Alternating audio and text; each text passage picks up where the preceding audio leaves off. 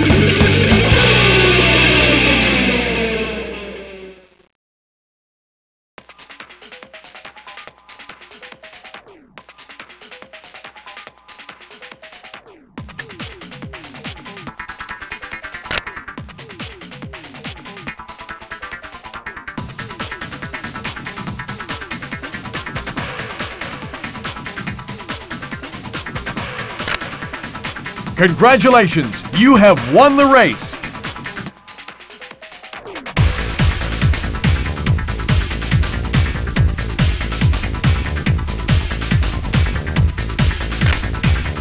You've got a top 10 time for this track.